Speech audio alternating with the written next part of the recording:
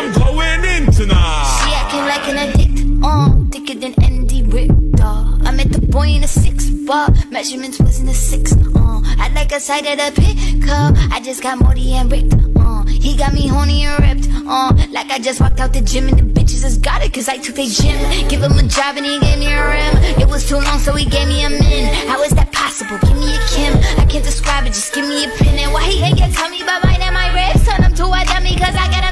it, think it's funny till y'all get and turn into a zombie. It's Riley